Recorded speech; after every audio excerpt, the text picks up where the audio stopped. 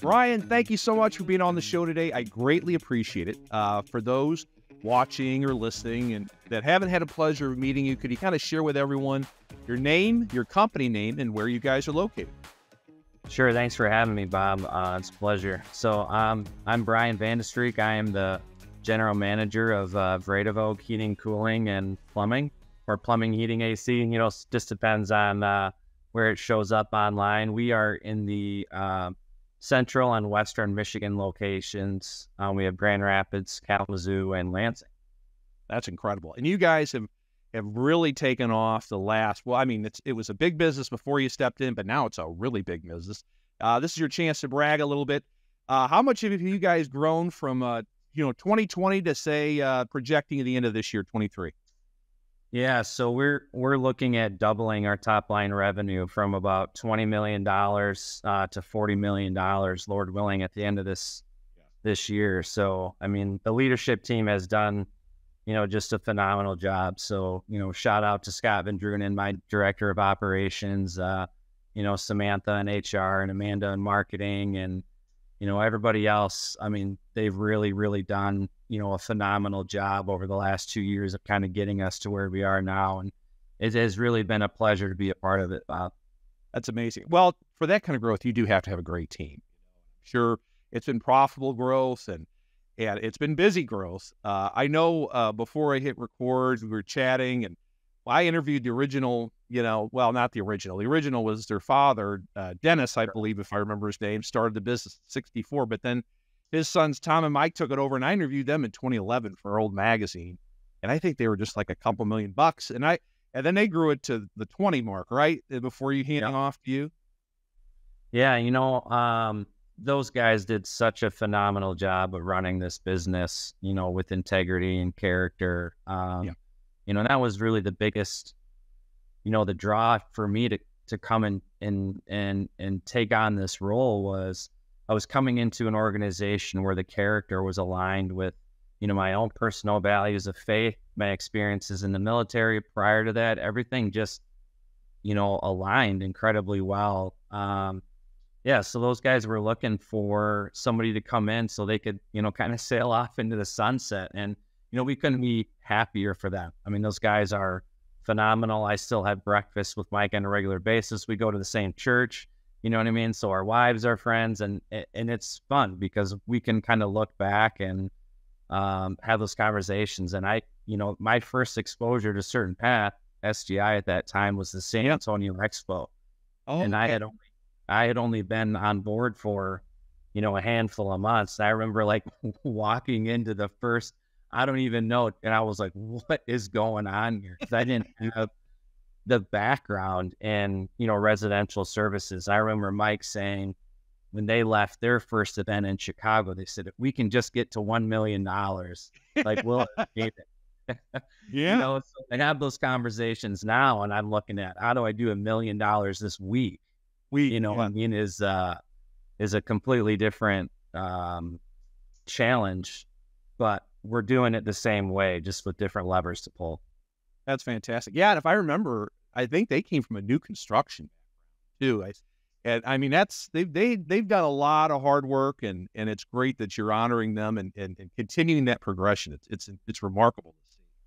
Yeah, um, you know, and that's that's important, you know, for this organization and the customers that we have here is that you know, we honor those guys with the legacy that their father started and what they really built by flipping it from new construction. Um, you know, so that's at the forefront of my mind and my leadership team's mind on a regular basis is how do we continue to do this the right way and how do we continue to, you know, let customers know that hey, we're doing this the same way. We're just we're tweaking some things to to give them an advantage as homeowners. Yeah, yeah. And I, I, you pointed out something earlier. I think it's important to mention you walked into a business that was founded on some strong core values, some core beliefs. So, I mean, maybe there were some heads that needed to be changed, but it sounds like you probably walked in a strong situation where you were here to pour gasoline on the growth, not necessarily having to fix a broken business. Oh yeah, I mean, and and I would tell anybody who's watching this or listening that, um, you know, this was an amazing organization before I got here. So I mean, I can't take credit for the going from 20 to 40 million dollars. The, you know, the foundation was laid, you know, 60 years ago. Um, and then when Mike and Tom went to their first SGI event and said, that's the business model that we're going to follow. I mean, and, and they did. Um, and they followed it to a T. And then I think when we got to $20 million, Scott and I were looking at some of the, some of the models on CertainPath and we're like, there's no plan to get from 20 to 50. So like, we're going to have to figure it out, you know, on our own. But you know the core of what we do is is in the foundational principles of those values and then of what certain path helped mike and tom do um, and we just i took those and utilized my background and experience and just said well what if we did this? And what if we did this? And what if we did this? And what if we did this? And yep. um it's it's honestly it's been just a, a riot to be a part of. That's great you know, it's fun. Uh, it's interesting. I, I I'm working on some projects for Expo and Temecula, and I've been looking at a lot of like uh, reports on Eagles, which are larger members, are our large revenue members, and we have some coaches out there talking with some, and you know, and they a lot of companies that are doing great, but there's things, there are areas of improvement. It comes down to the basics, and you kind of pointed that out. You execute basics. You know, it's just about finding the right people to lead those people to do the basics every day that's what generates revenue. That's what generates profit. It comes down to doing the right things every single. Yeah, you know, and it's it's funny because you know before we hit record, um, you know, you had mentioned I don't know if you had um, watched or listened to, but I think you had Carl on was the last time. Yeah, um, and Carl and I, believe it or not, we, I've never met him, but like our backgrounds are are very similar, except for the fact that I didn't do it in the skilled trades like he did. So, mm-hmm. you know, reviewing, you know, P and L, and then looking at uh, where you need to go and making continuous improvement changes, and like those are all things that I did when I got here because it was like everybody wants to leave a legacy um, by enriching people's lives who work for you, you know, all while taking care of your customer. I remember getting here and go, how do I make this better? Like these guys pretty much had it all ready to go. Um, and then it was just a, you know, like oh, I can't just come in here and maintain a twenty million dollar business. The goal is to is to grow and to Absolutely. be able to hire more people and to be able to impact more people's lives. But to your point, it it, it starts with the phone call. I mean, it's the basic. Um, and anybody who who knows me knows I'm incredibly passionate about call centers. So shout out to all you CSRs and CEPs out there who might be listening. I mean, I spend a ton of time in my call center reviewing scripts. You know, what what things can we do to make their lives better? Because yep. it's a high turnover job, but it's the most important job in our organization. Is who answers the phone. So yeah, yeah back to the basics is is incredibly important for me. Yeah, I'm gonna I want to dig into that in a minute. Uh, before I lose sight of it, I love uh, learning people's individual stories and I think it tells so much about them. So let's let's dig into yours just for a couple minutes. So you said military. Did you jump in the military right after high school, or when did that happen? No. So I I went to college first, and then I joined the military. But I did go the enlisted route instead of the officer. I I mean, like full transparency, I probably wasn't ready to lead people at that time. Uh, um, so I was just kind of looking for something that you know I could be you know, was bigger than myself and I could be a part of the team. And I had kind of felt this, you know, calling to kind of go and do it. Both my grandfathers served in the military. And, you know, after college, I think I was, you know, pouring concrete and probably not utilizing the, the gifts God had given me to my fullest uh, potential. And sure, my older brother, you know, had kind of said to me, like, hey, you, you need to go do something, you know, better. Uh, and so I, I did that uh, for about eight years. Um, and I was a I was a combat medic in the military, so wow. uh, that was great for me. So I did you know several depo- deployments. Um, so that was kind of my time, and then after I got out of the military, I uh, I really went the tier one automotive manufacturing route. So oh, supply okay. chain, process engineering. I did some engineering manager roles, plant manager, general manager roles of you know overseeing different facilities and um, really just kind of figured out how to make things work better. Um, yeah, and that's kind of my background. Yeah, And and then talk how did you cross paths with Mike? Let's talk about that. That's a, I mean, that's a total, um, you know, providential thing that you know God put us together. But um, my wife and I were looking for an opportunity to get back to West Michigan. Um, so my parents were here, and I moved moved here, you know, just heading into high school. Um, and mm-hmm. my wife's family was from here, and we were living down in Georgia after I got out of the military for about eight or nine years. Uh, wow, you'd then been there for a long time. Yeah, no. So I, I mean, we were down south for probably 15 plus years and looking for an opportunity to get home. My dad had just uh, retired. He was a college basketball coach here in the area. Um, we had little kids at the time, and I was like, man, you know, now's the time to, to kind of get back home.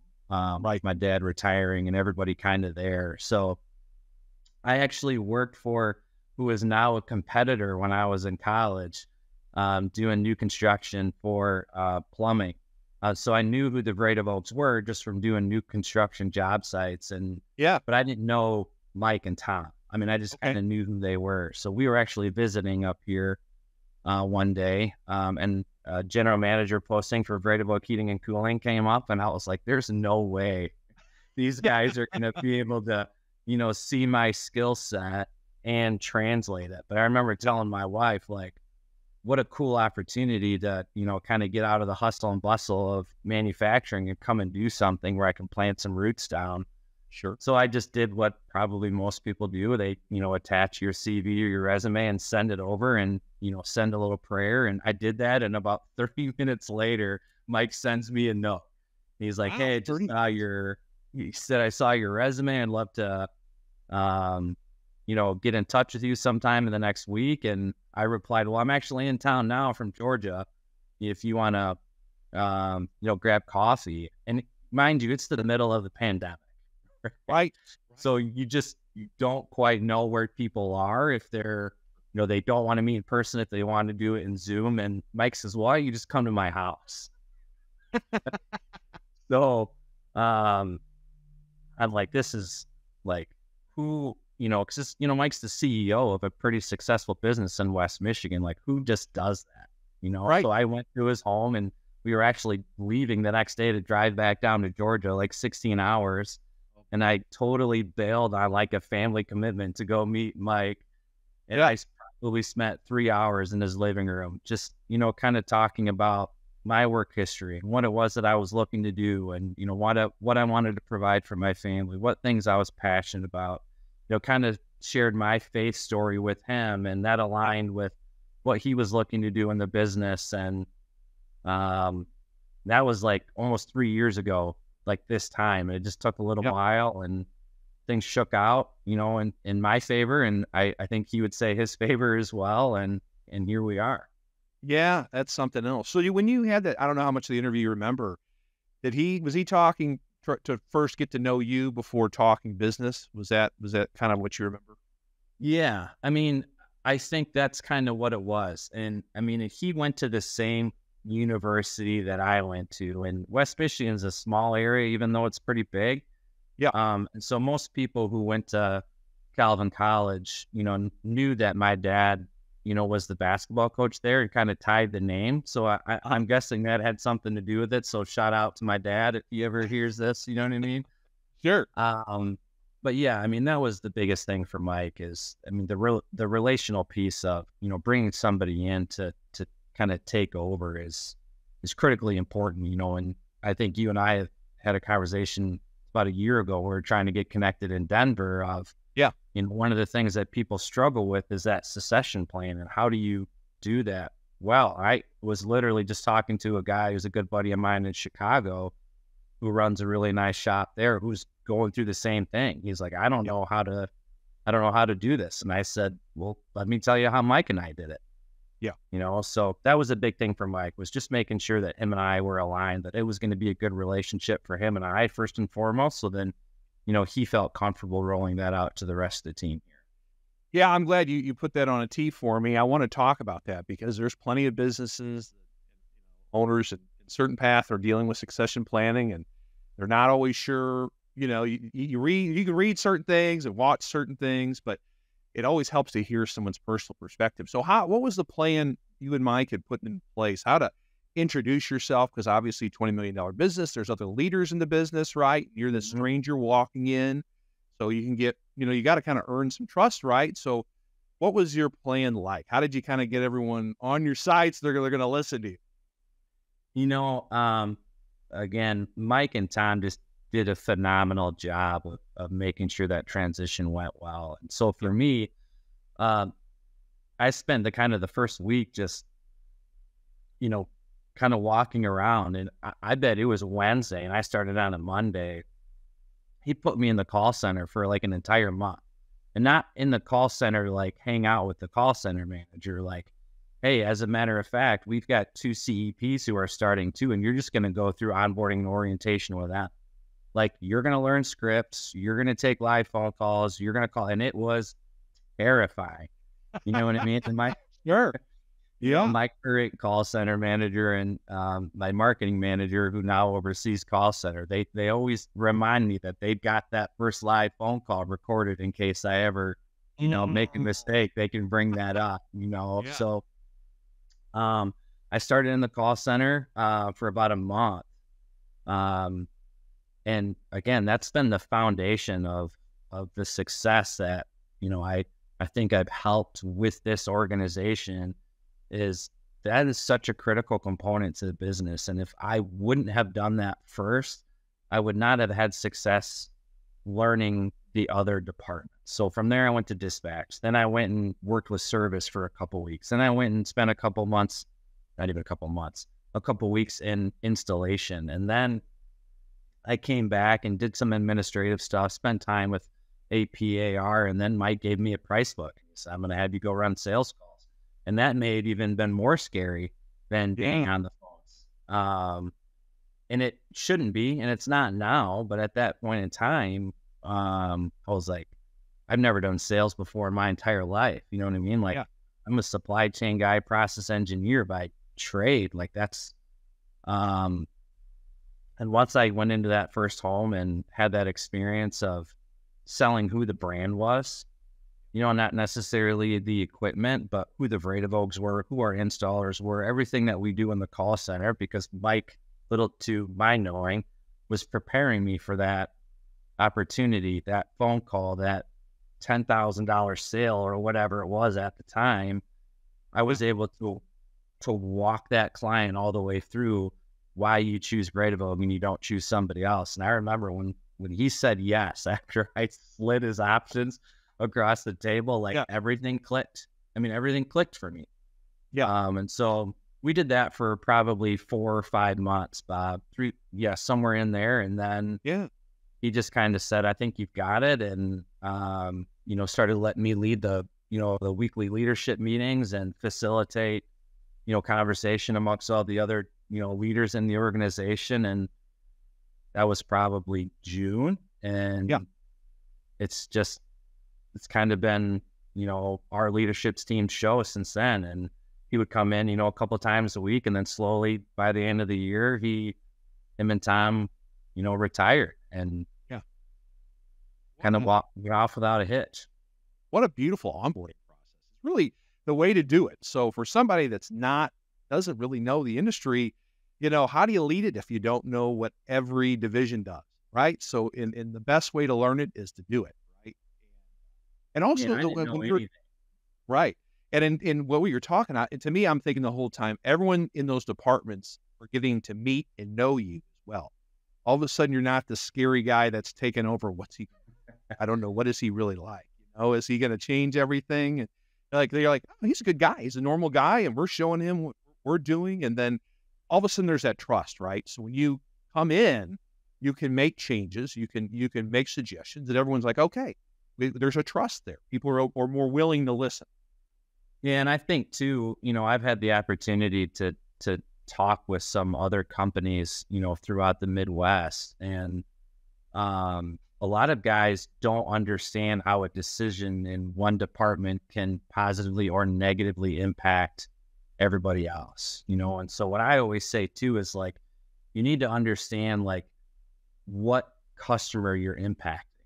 you know, whether it's an internal customer or it's an external customer.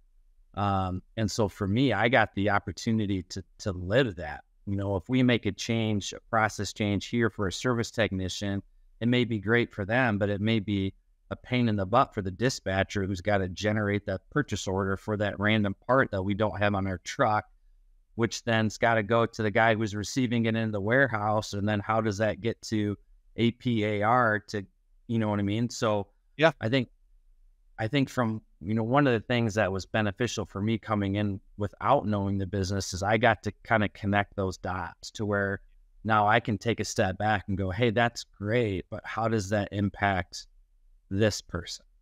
Right, right, for sure, for sure. Now, when you when you stepped in in 2020, were was it just the, still the original location by itself in Grandville, Grand Rapids area, or had the others had popped up yet?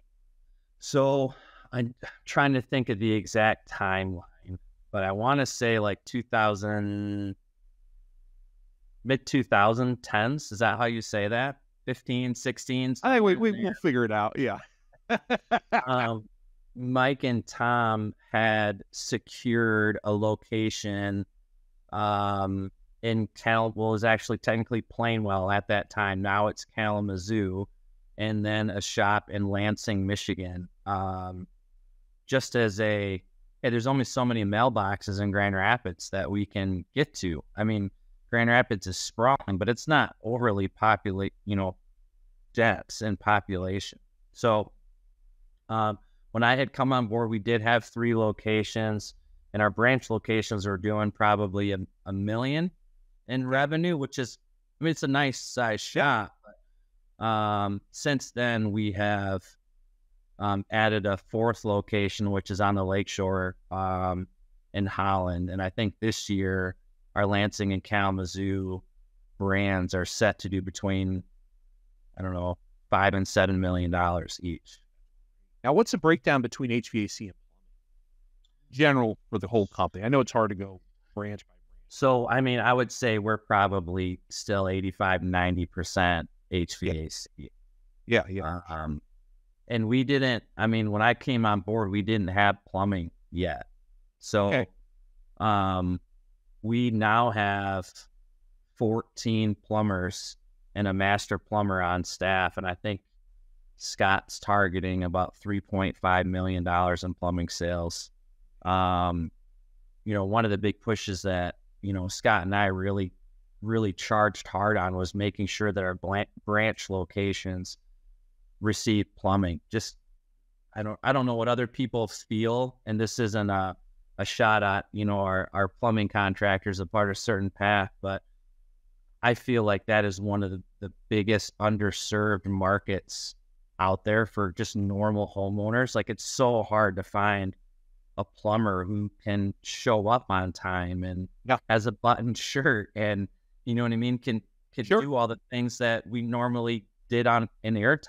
You know what I mean? Yeah. And so Scott did just a phenomenal job of growing that department and getting it to all of our locations. So now we've got three experienced plumbers in each one of our locations.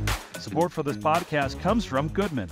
There's a good reason why Goodman is one of the biggest names in heating, cooling, and energy efficient home comfort. The brand has been around for decades, and you'll probably find one of Goodman's nationwide distributors in a neighborhood near you. And since Goodman products are designed, engineered, and assembled in the USA, you can feel good knowing that one of the best values for high quality HVAC equipment is available where and when you need it. It's no wonder homeowners and local contractors say, thank goodness for Goodman. Look for and be sure to follow Goodman on LinkedIn, Facebook, Instagram, and YouTube. You said Scott is what is his position in the business? So Scott has recently been promoted to our director of operations. Congratulations, uh, Scott. So Scott was Mike's right hand guy when I got here. Scott and I actually went to high school together. He was a couple really? years. He, we were a couple years apart um, in school, but he is hitting his 20 year milestone this year. Uh, and I couldn't ask for a better guy, a better advocate for who we are and our core values. And he started um, in install and moved into service, and then became a team leader, and then he was the service manager when I got here, and you know he's the epitome of of what you want in somebody who can help grow a business um, and is going to do it the right way every time. Was he now? Was he the one that spearheaded the plumbing? It's what, what it kind of sounded like. Someone has to kind of own it, or or did you work yeah. with them in tandem? Because that's very such a very different model HVAC to plumbing, right? And there's that hurdle, and then there's you. You've got the size of a business, and you got to be careful not to market it too much. Then it can get out of control, and I mean, there's all sorts of things you have to be careful with in opening a new division. Yeah, you know, and um, I think Scott would tell you that the story went something like from Mike to Scott, like, "Hey, we're going to do plumbing, and you're in charge of it now." you know, and I think I had been here all of you know maybe a couple weeks. Um, yeah. You know, and so for us, it was you know we we jumped into a CertainPath and we were like, what does the price book look like? How do you do what do you charge for a trip charge? How do you, you know, and so he was the guy who did all of the work in the background to look at pricing and what parts do we need? What do we need to stock? Um, I had the easy task of deciding how many plumbers do we want? You know what I mean? Or where do we want to go? You know what I mean? So Scott and I's relationship is is great in that we get to play off of each other and that we know what each other's strengths are, we know what each other's weaknesses are. I'm not a a trades guy normally. Now I'm, you know, about three years in and I know a tremendous amount, but it's because Scott had to tell me that that was the wrong way to do it and here's the right way to do it so many times. Yeah. Um, but you know, I would push him on kind of where we need to go from the customer's perspective, like what we're hearing in the home, what our technicians, what like, how do we get here? How do we get here? And Scott would always say, hey, we can do it. It's going to take time. But he's the guy who, you know, really put the boundaries in place and figured out how to do it. And then him and I were, you know, talking on a daily basis. But it was, we wanted all of our club members to have the same experience with plumbing that they have with our HVAC service technicians. And that's really, really difficult to do. So, first and foremost, for us, it took us probably a year to find a master plumber who fit the bill, who was cool with wearing a white button down shirt and black pants and a black belt and black boots and had an impact imaging statement and wanted to be a part of it, wanted to help us grow it. And I mean, we didn't, he's probably one of the few people that we hired with experience yeah. Because it was easier for us to hire guys with the right core values and the right attitude. And we taught them. You know, we started with water heaters and we've got six probably apprentices now that are just, I don't want to say they're hanging out. So, but yeah, that's Learning. what we found was successful. We, we yeah. did hire some guys that had experience and it just, it was really difficult for us to get them to fall into how we wanted to run our business the way we did on the HVAC side. So, yeah, Scott was the Scott was the driver. I was kind of the visionary. Um, yeah, but I mean, let me, yeah, let me ask you this real quick because I, I think this is an important point I want to point out for people is when Scott was given this role, what was he doing previously? Was he was he managing service or install or was he operations manager over everything? So when so Scott recently, just in the last two weeks, got promoted to director of operations. Yeah. Um, Prior to that, he was the operations manager overseeing kind of all things operations, but just in the in the last little bit, we formalized some roles for uh, some men in our organization who became branch managers of our satellite locations um, to better take care of our team members that were there. Um, and what I mean by that is we had grown those branches to such an extent that they they deserve to have somebody who is going to be there each and every day. Yeah. Uh, and prior to that, they were all reporting to somebody who was at kind of our centralized hub, which was great. But I don't think we would have been able to continue to grow if they didn't have the support and the resources that they needed in their location. So at the time Scott got plumbing, he was the service manager. But then when we got a master plumber in, he learned yeah. how to do things a Vredevoogd way for about 10 months. Then we pulled him out of the field, made him a plumbing manager. He reported to Scott. Scott now got promoted, and now my plumbing manager reports to my Grand Rapids branch manager, and then kind of dotted line to Scott so that he can oversee everything. I think well, yeah, I mean that's that's amazing. The patience you have, and I think that's what the point I, I want to try to get across to people. So often they get into new trades and like we're going to start answering plumbing calls tomorrow. I just hired a plumber yesterday. We're gonna we're just going to go do it, and you're like, holy cow, that can blow up so fast. But what you did is you gave Scott the ability to, to kind of step away from the HVAC side a bit, focus really on plumbing, mm-hmm. do it the right way, find the plumber, onboard the plumber the right way and so as he did that, the HVAC side was okay because you had other leaders to step in his place run. Yep. So that's that's the way you got to do it, and it, it's going to cost you some money up front, but that cost is an investment just to launch a new division. Yeah, double your training budget, guys. yeah, right. Yeah, right, right, right. Um, yeah. So when you when you first started running calls, did you just start dialing out, or did you change how you answer the phones when people called in and said, "Hey, we're doing plumbing now," or how did? Because yeah, it's a slow leak because it can get out of control real fast with the size you were in, in HVAC. You know, for me, it wasn't necessarily um, calling out more. It was taking advantage of what we had coming yeah. in. Um, you know, and it was probably I don't know two years ago, and we had a marketing partner at the time um, and this could get down a rabbit hole. So you're gonna have that's all right. Uh, Write notes down. I'm good. Who you know who wanted to judge their performance of marketing based upon my top line revenue.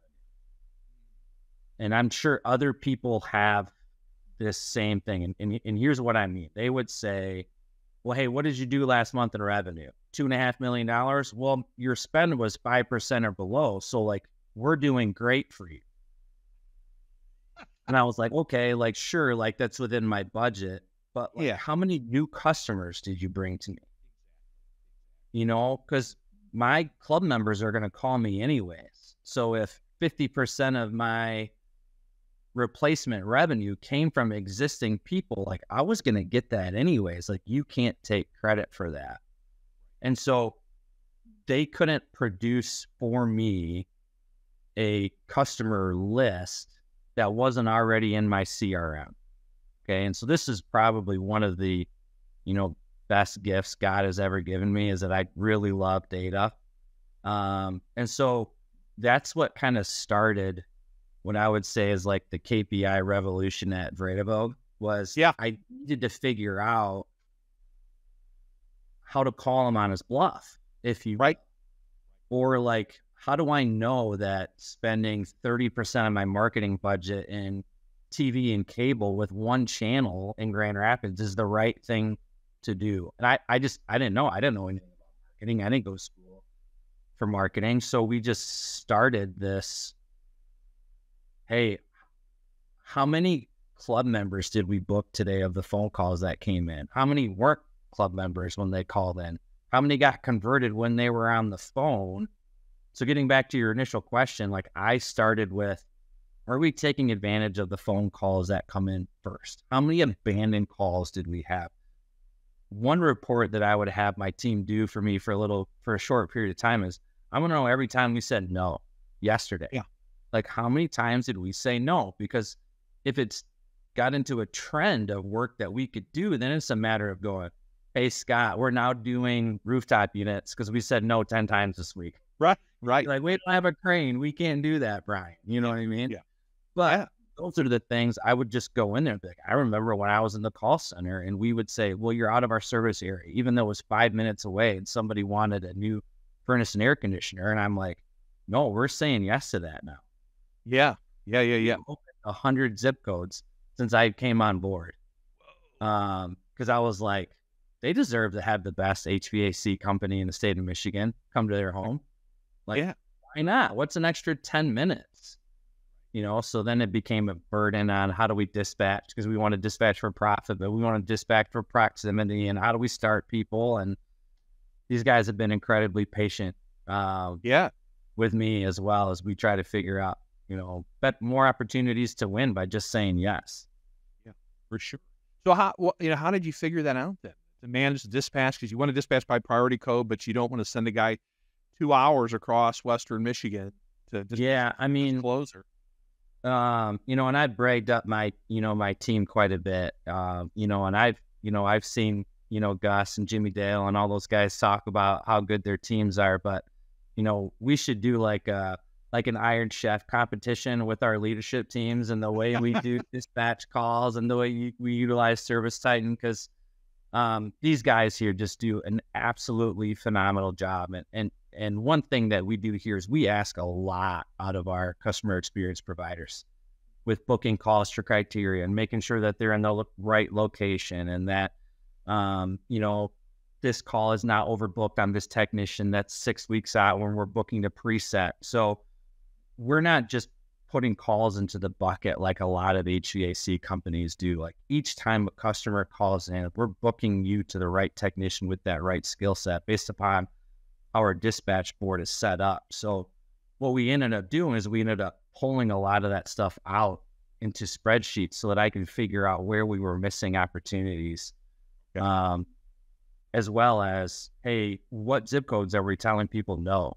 because we had a log for that. I mean, ServiceTitan's got so many different features that people don't take advantage of that we just forced ourselves to get really good at to where now, I mean, any day if I need a certain amount of calls in a certain zip code, it's just pulling a couple letter levers, putting a sheet together, and calling to those those people. So yeah, it's gotten really complex, but it's worked for us because we just we started with one. Yeah, yeah. So has that been the key to your to your growth? Is is opening up those new zip codes and kind of targeting them with your advertising and hitting really a customer base that you had not hit until the last couple of years? You know, I would I would say that um, the growth really stemmed from us allowing the, the leaders in this organization to kind of spread their wings and go.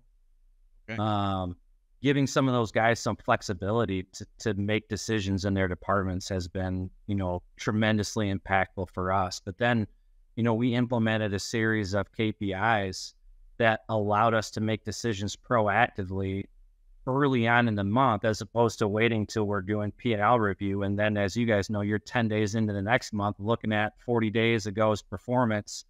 And we're looking at graphs and trends, you know, every single day each leader at my organization is responsible for sending out a series of KPIs for the department that they're in to a group of 20 people so that we can help each other if something isn't matching up. Um, and that really allowed us to communicate more effectively than what we probably had been. And again, incredibly successful business before, but when you open up streams of communication and put people in roles for them to be successful, it, it's it's like putting gasoline on a fire. Yeah, yeah. What uh, if you don't mind me asking, and and what what key KPIs? I mean, how many do you really focus on every single day? We're not hitting here. It's five alarm fire. All hands on deck. We got to figure this out. You don't have you know, the numbers, but yeah. So you know, one thing I would tell you that we don't do is I I don't necessarily focus so much on the sales, you know, which may be counterintuitive to what a lot of people think, but I I believe that our sales is a product of everything else that we do well, um, from answering the phone to booking the call to getting the right technician there who generates a lead to getting, you know, the right comfort advisor there based on data and their success ratio in that zip code on a single component sale. Like those are all the things that we did. Um, you know, the, the most important one to me that I look at is how many inbound phone calls did I receive on a month to date trend versus last year? Like that's what I want to know because that tells me a couple of things. One, are we staying relevant in our marketplace? Do people still think about us when they have an HVAC or plumbing need? Two, is my marketing working? Are my targeted campaigns successful? Three, is there a weather event depending upon am I up, am I down, am I neutral? We were having this conversation today because we were down on inbound calls, down on outbound calls, and down on book calls. Yep. And I was asking my team, like, what are we doing? You know, like not in a bad way, but like, what are we uh what are we doing? And they said, Brian, last year on the 22nd of August, we flipped from AC to furnace season and we blew our book call numbers out of the water. Like you got to be patient with me for another week. You know, so the calls to me is the absolute most important. And then after that, I look at paid tune ups by area. So non club member visit, somebody who's calling in and wants their air conditioner tuned up. Those are the those are the number one things because that's the most important call for me is that yeah. paid tune up, that marketed tune up. Because everything else is, you know what I mean, like stems from that. It's if I can get in the home to a first time customer and show them what a proper super tune up looks like and provide them options and tell them that we've got plumbing and we offer emergency service and the value of our club membership like i have them for life. You own like yep. I need that marketed tune up call. That's my that's the driver for every location. And then uh, bob i would tell you the next one is we track how many non club opportunities we get by location every day. And then what do you what do you classify as an opportunity? Ten year plus? No, so I'm not talking about the equipment type. I'm talking about if you called in, you moved into my territory, your address shows up that you are not a club member of mine. That's how you classify your. I wonder because that tells me if my marketing is working. Yes. Yes. Because if you're paying a monthly nominal fee to be on my club membership, and like you're going to call me anyways if there's an issue. Sure. So that's my number. That's probably my third one, and one of the most important. That circling back all the way to the to the rabbit hole, if you will, is that allowed me to figure out what KPIs I needed to chart out to get back to what do I need to do to get my phone to ring?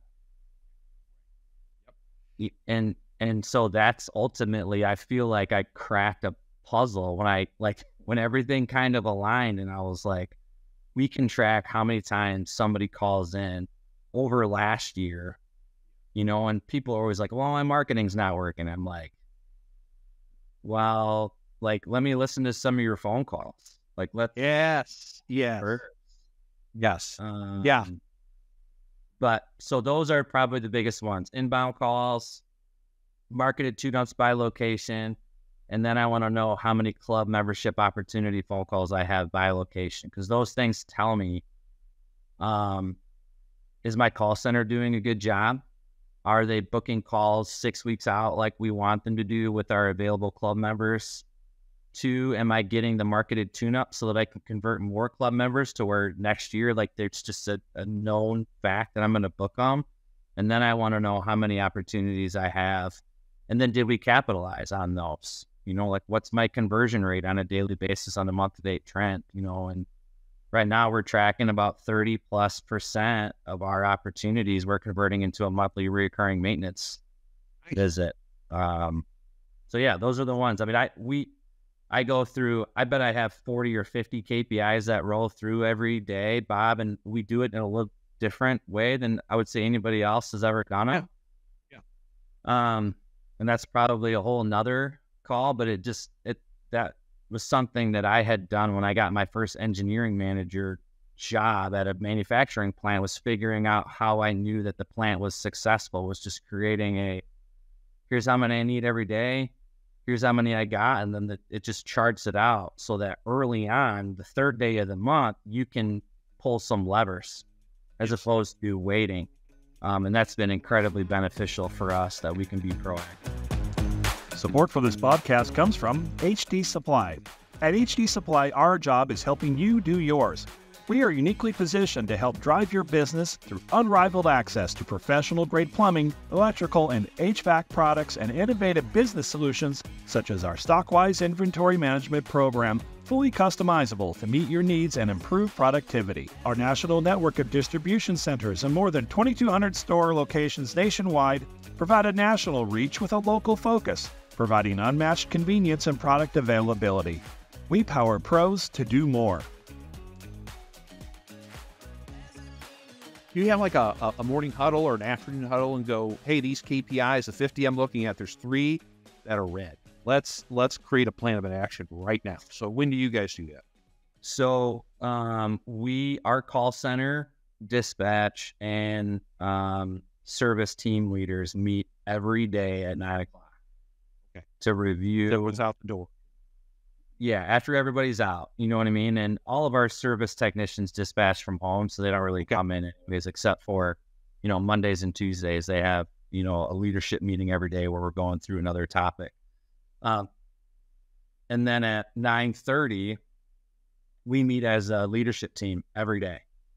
Um, and that's a different change for what Vredevoogd was used to. And it's probably, a lot of you guys are going to think that's overkill, but – I'm an eyeball to eyeball communication guy. Like I'm very relational. Like I want to see people's body language. I want to know if they are concerned about something, and I can't do that on a on a on a normal basis if I can't see you. Like I can't help mm-hmm. you if I don't know what you need. And so those KPIs we use uh, Google here. Um, so those go out into a Google chat group that just they go through and it's just a little snip of the chart of what it looks like. And then there are days that I'll send, you know, like, hey, what are we doing about this? Or what support do you need? Um, but those are the things that we're addressing, you know, on a daily basis. First and foremost, everybody knows, like, my favorite people are in the call center. You know what I mean? Like, go in there and give them a high five first. You know what I mean? We talk about that. And then we talk about, like, what does dispatch need for the day, you know, or where we're at. And I think for most people, you know, that are have been a part of CertainPath and are following it to a T. Like we try to stay six to six to eight weeks out on our board for for tune up. So now we're in this weird season right now where we're trying to kind of get to the end of our air conditioning and when do we turn on furnace and each location's a little bit different and we're trying to figure out how to push through to get some more marketed tune ups. But I always tell people this is my favorite time of the year is like February, March, because then people need me you know what I mean? When it's busy, nobody needs me. You know what I mean? Right. And right. Great too, but uh, we get to be more creative. And you know, people call this the shoulder season, which I'll be honest with you, Bob, I still don't understand what that means, but I just go with it. Um, That's our podcast next week or this Friday is on shoulder season. Yeah. Well, I wanted to tee that up for you. Uh, hey, yeah, this will drop after, but either way, that's funny. Yeah. Uh, no. Um. So, but yeah, that's we meet probably every day. And then um, every day, I have a one on one with one of the leaders on my executive leadership team before all that starts, just as a like, and it's more meant to be a, you know, what's going on with your kids?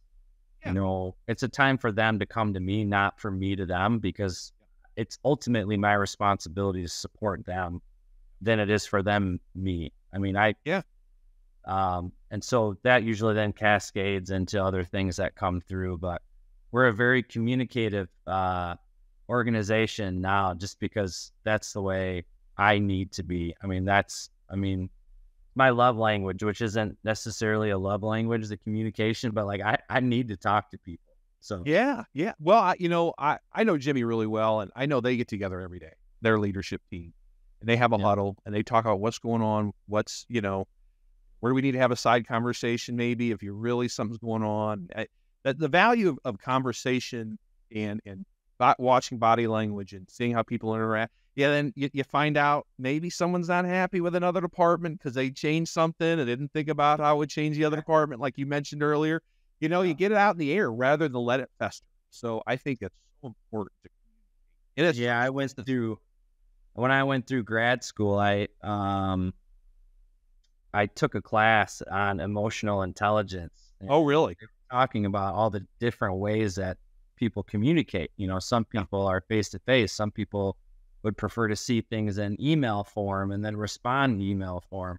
Some people want to see an email, they'll get up right away and they'll come talk to you. Some people don't like the confrontation. And, you know, then it all makes sense. You know, like from seven years ago when I had a leader tell me I'm slightly abrasive, and I was like, no, I'm not. I'm just really passionate. You know, um, you know, but those experiences are the things that you know I've kind of allowed me to, you know, to listen to the body language and to know. So I know that some of my leaders don't necessarily want to bring stuff out, but they know that that's how I communicate. So I do my very best to be respectful of those boundaries and how they communicate. Sometimes I can depending on how many cups of coffee I've had, I can come off a little excited.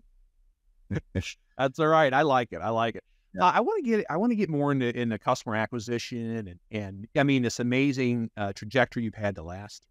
We've talked about how uh, you know you're moving into new zip codes, right? Mm-hmm. And um, maybe let's I, I want to hard before we get yeah let's let's harness let's let's talk marketing a little bit more because you earlier on you said boy, I don't trust this marketing partner I have. They're taking credit for top line growth, which is silly, you know. So I got to do a deep dive and educate myself on where my leads are coming from. So maybe talk about that a little bit more. How did you finally discover what was working and what is working for you guys? I know I don't know how your call volume's been this year. There's a lot of other markets that they're struggling a little bit. And yeah. uh, and to go back to your call center thing, sometimes it's yeah. Well, that's a whole other conversation. But uh, but anyways, talk about your evolution of marketing. Yeah. So you know something that I've come to. This is just my personal observation, conclusion, and opinion. Is it's marketing's job to get me back to where I was last year on leads. Okay. It's the rest of the organization's job to get us over that threshold for whatever that is. And if that's by, you know, ultimately we want word of mouth advertising.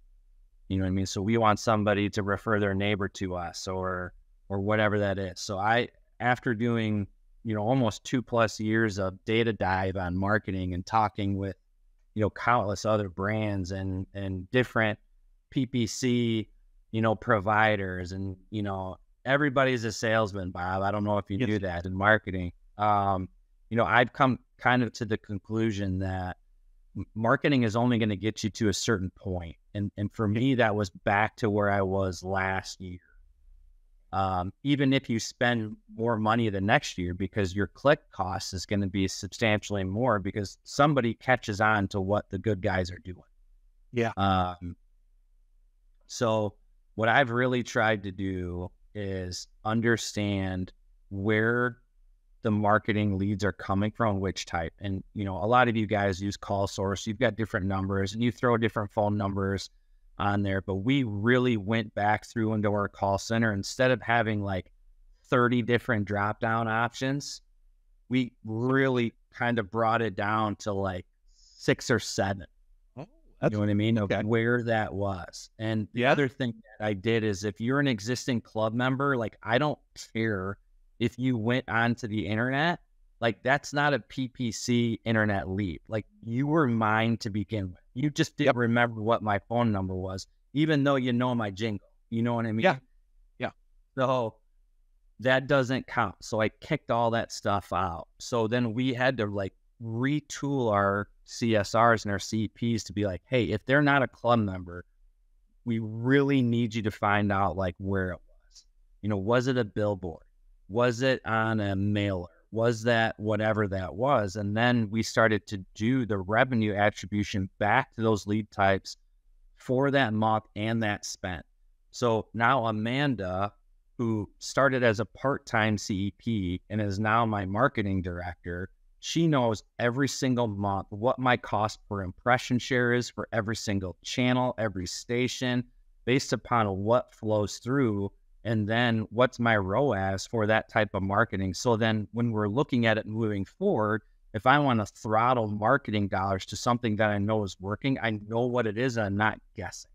Yeah. Yeah. You know, and I would tell you, I mean, PPC is going to be a, a lion's share of most people's budget, and it is mine as well.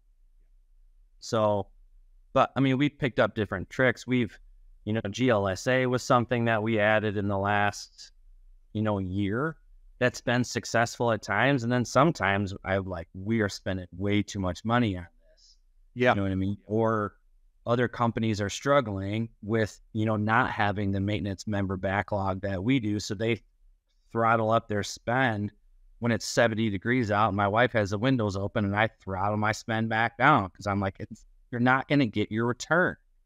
So we we track all of those things regularly. Like we know where our best return is. We know what we're going to do next year when we put contracts in place with certain TV partners just because the cost per impression share wasn't where other people's were and we're not getting that call or that, you know, booking on schedule engine or whatever that is that we feel like we should based upon the amount of spend we're putting in.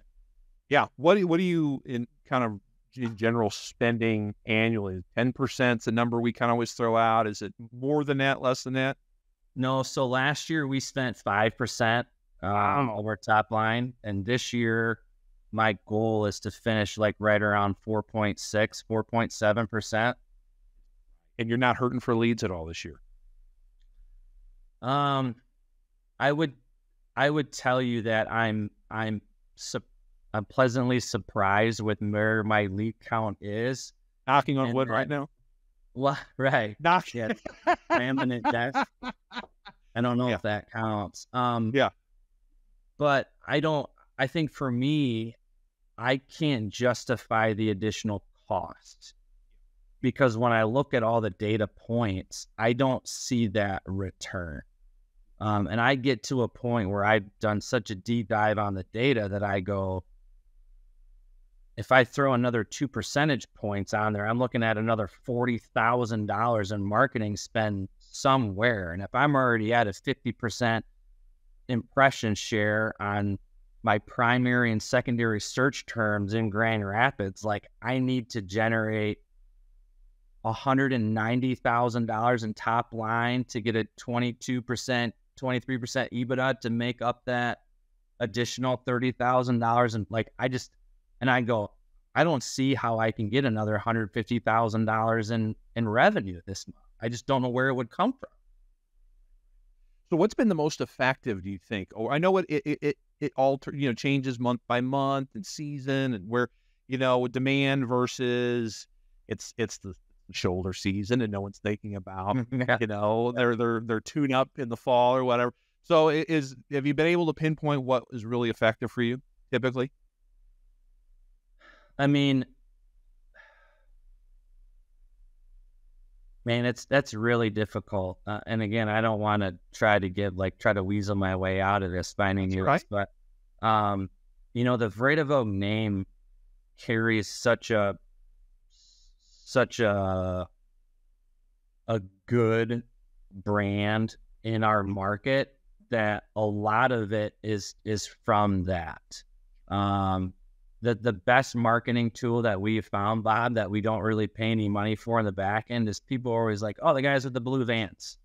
Yeah. You know, so we got a unique blue van and we've got 120 vans on the road every single day. And every van's touching on average three houses a day, you know, and that's been yep. one of the biggest things. And so we put we put um what are those things called? The scan, the um QR code. Oh, QR codes, yeah.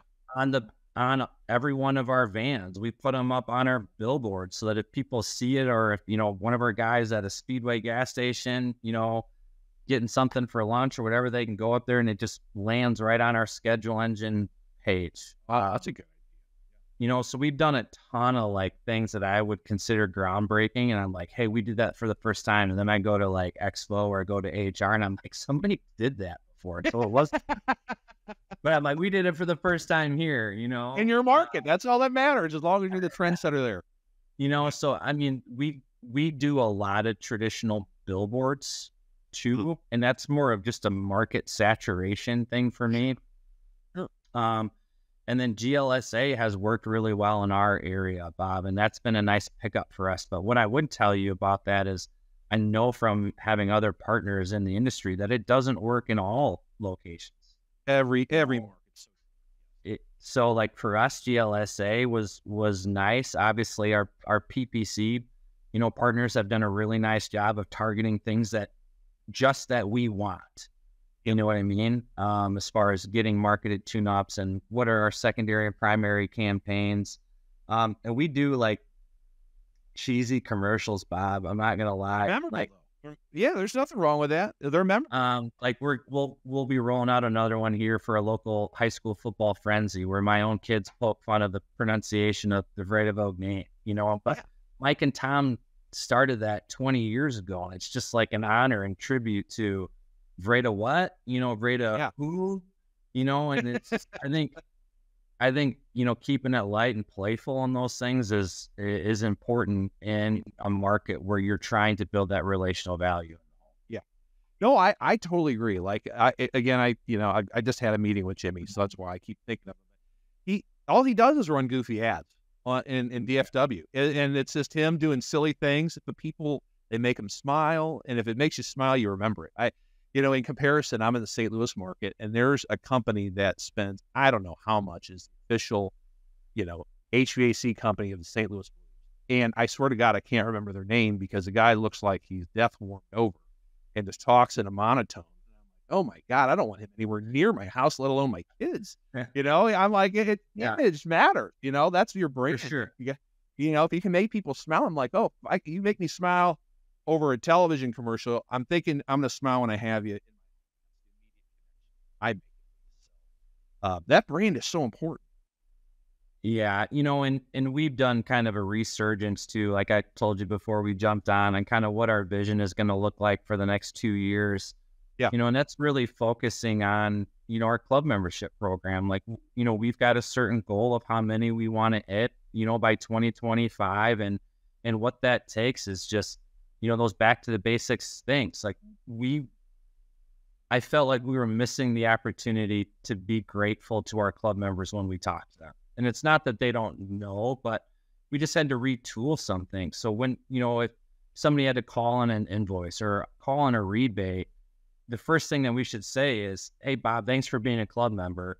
The reason why I'm calling Yeah. is this, you know, and I think, you know, things are tight right now in the economy. You know what I mean? I, I don't know about you, but I usually have some type of CNBC or Fox Business or whatever, just trying to figure out like anybody else. I feel like it's Kentucky windage, and you never know where it's going to go. But I can tell you that the dollar is is getting stretched more than it ever has. So I want to make sure that when people start to do their budget reviews, they don't they don't put their seventeen dollars a month or eighteen dollars a month first on the chopping block. I want them to know that their club membership is more important than their Netflix subscription.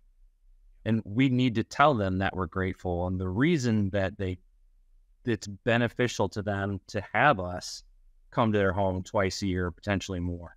So, you know, those are the things that we we're really focused or hyper focused on right now. Um, that you know we always have been, but it's just it, it took a refresh. It's going to take some, you know, some new leaders and some new positions to kind of help us take some blinders off and identify some other opportunities, like I did when I came in. And we're super excited about you know the next 12 to 24 months. I know some other people are you know a little concerned, but I'm excited. I I think that you know steel gets forged in fire. You know, so Yeah. you know we're we're ready to go.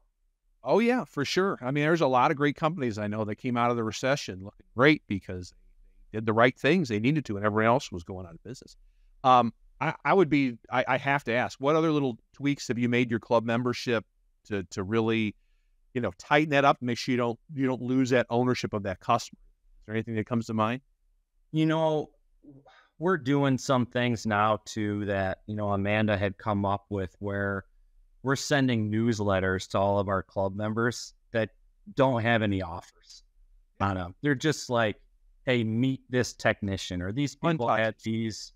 Yeah. So we're just trying to be more personal with them, you know, and, and we've offered things like, you know, free plumbing safety inspections to, to let them know that we're now offering plumbing you know, or or things like that, just as a hey, you've been a club member for 10 plus years with us or five plus years from that, we'd love to offer you a free plumbing safety inspection. Here's what that looks like. We're going to do a leak test on all of your toilets. We're going to take a look at your water quality. And we're and we've told our plumbers, don't go there expecting a sale. Like that's not what that's for. It is there for them to know we offer plumbing and it's going to be just as good a service as it is in the HVAC side, and we want them to tell their neighbor about the plumbing. We don't necessarily even want them to buy anything. Like, but we want them to have the experience to be our cheerleader to tell other people that we've got plumbing and it's better than anybody else. Yeah, yeah. You want to kind of put stake in that homeowner and go, "This is mine. I'm going to earn them, and I will get the business for the next ten years." Because they go, "Man, Joe, that tech was so nice." And yeah, yeah. it's, Well, it's, it's and I when I had run, you know, some sales calls too, they'd be like, "Man, I, you know, I wish you guys did this, or I wish you did that, because you guys are your customer service is is so good, you know." And I and I thought to myself, like, we need to be the best customer service business in the state of Michigan. And and that's what we tell people too. Like, hey, we're in the customer service industry. We just happen to be really good at HVAC and plumbing. You know, if you want me to do your garage door, I'll I'll call Gus because I I'm not quite there yet. You know what I mean? but um, but I mean that's how we got into generators. We just kind of turned that on in the last five or six months. Like I don't necessarily have a plan to exponentially grow generators. It's a total niche product. But somebody said, Would you put this in? And I overheard the conversation. I was like, We'll do it. You know, and Yeah. just, you know, we've probably done 15 or 20, you know, and it's just like, I don't want to lose an HVAC customer to somebody else who offers electrical and then they bolt on HVAC and they stole my customer yeah, like if you're mine, like you're gonna be mine. You know what I mean? Like we're in this through thick and thin as long as you own that home. So if you need something done and we don't do it, call me and tell me what that is, and I'll see if I can figure it out for you. Um, I, I want to start wrapping it up just in the interest of your time. I appreciate the this is I could talk to you for two hours because I feel like we've just skimmed the top on about twelve different topics. I could talk to you for an hour on each. Um, just just to kind of summarize our relationship with you, CertainPath. What what has our organization meant to, to Vredevoogd over the years, and now with the plumbing and and, and moving forward? Yeah, you know, and I think now it's more of like that that that home touch point, if you will. You know, um, to where it, it kind of gives us that if we feel like we're starting to kind of waver off course, like we always know where to go back to get a resource. Um, you know, but to those of you guys who are just coming on board or just thinking about it, like the Vredevoogds built their business on the principles of CertainPath.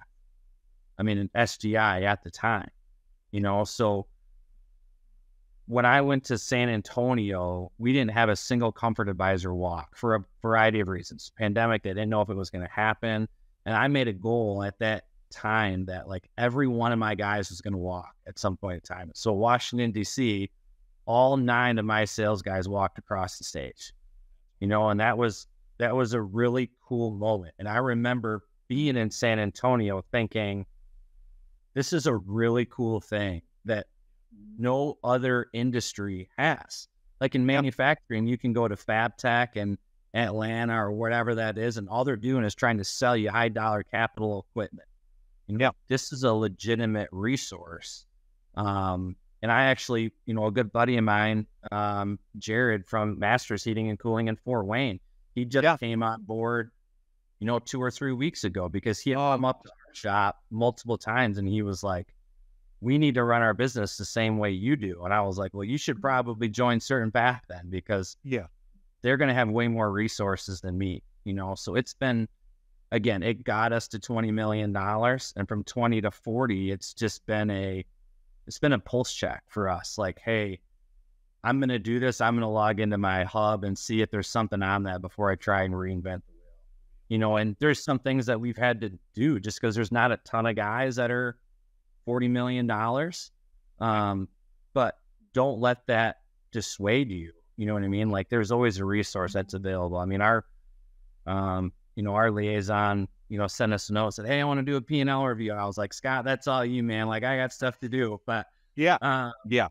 it's been great, Bob. I mean, we it- we've been really fortunate. Our guys look forward to the event, obviously in the spring every year, but um, it, it, it's been a true partnership. at- at- You know, at a minimum that we have taken advantage of. Let's talk again, just kind of summarizing your vision here in the near future. First of all, how, you protect your culture? going from 20 to 40 million dollars, you've got a lot of new people, a lot of new faces. How have you made sure to keep that same great vibes, feeling going? And, you know, it's real easy for that to go astray when you're bringing this many new faces in. So, how have you been able to protect it? Well, I think, you know, we talked about it at the beginning, but a lot of it's just honoring, you know, what was here before and not losing sight of what was built before I got here. Um, and that's kind of what we did with our, you know, cast our vision is, you know, we're, we, we are marching towards 25,000 club members by 2025, you know, and, and we can't get there without doing it the way that we've always done it, you know, and, you know, how do we, you know, protect that too? Is I think we got to be respectful of the leaders that are in this organization and continue to provide them opportunities to grow, you know, so that was, you know, a lot of it was, you know, we, we, we built up our organizational chart and put the right people in the right place to be successful. I just get out of their way, you know, and I think for the first, you know, probably year and a half when I was, you know, in the role or in charge, people would come to me and say, Hey, you know, can I do this? And I would say, Does it take care of our technician? Does it take care of the customer? You know, is it going to take care of the business? And they would be like, yes. Yeah. I'd be like, well, then do it. Like, don't come and ask me.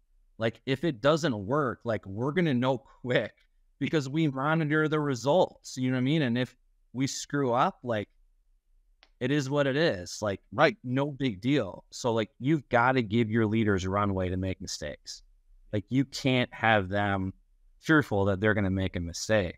I mean, I was so, telling somebody in my finance team today, like, hey, I make mistakes like at least five or six a day, like just at work. I can't tell you how many times I probably make mistakes, you know, for my wife or my kids, you know, um, but like you got to have that flexibility to where they're not feeling like they're un, under pressure or feel for, fearful of their job because they want to try something new. So as long as their decision falls within what our core values are, like do it.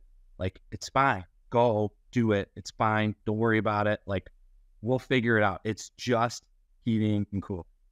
Yeah. I love it. That's great. Okay. Last question. You said you've reset your vision and mission statement for the next 18 months, two years, I think you said. So, what does that look like? If you hit what you're aspiring to hit, what does the company look like uh, at the end of that period?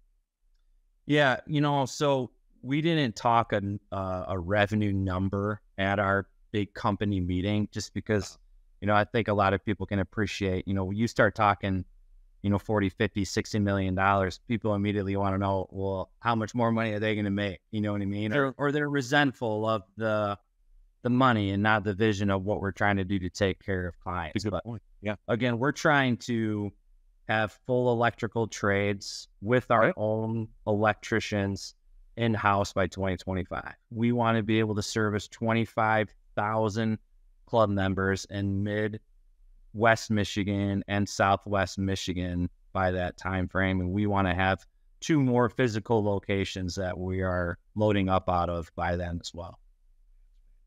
That's exciting. Well, I I cannot thank you enough, Brian, for all your time. We went well past an hour. I know you said uh, you didn't have too much hanging over your head there, but I know there's plenty of things you could be doing, crushing some data or figuring figuring some things out. So like, I cannot thank you enough for all this time. I really enjoyed the conversation.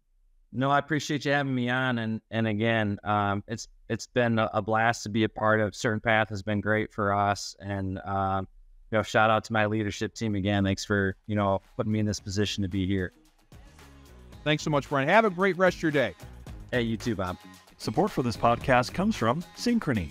Ever wonder how to calculate your true cost of financing and how to fit the price of financing into your business and pricing for products and services? In Synchrony's new and improved Toolbox website, you can easily calculate your cost of credit, view educational videos, and learn more about Synchrony's digital tools. Simply go to toolbox.syf.com to explore and learn more. Support for this podcast comes from Moen. As the number one faucet brand in North America, Moen offers a diverse selection of thoughtfully designed kitchen, bath, and smart water security products, each delivering the best possible combination of meaningful innovation, useful features, and lasting value. Moen strives to be the most durable, reliable, and easy to install brand of faucets. Moen leans on pros to help continue to drive consumer innovation, needs, and influence Moen's engagement with consumers in a meaningful way. For more information, visit plumber.moen.com. The Successful Contractor Podcast is part of the CertainPath family. CertainPath builds successful home service businesses and has for 23 years. We do it by providing contractors with a proven path to success, professional coaching, software solutions, and a member community of over 1,000 contractors just like you. Doubling your sales with a 20% net profit and an inspiring company culture is all possible. Let us show you the way. With CertainPath, success is made certain. Visit www.mycertainpath.com for more information.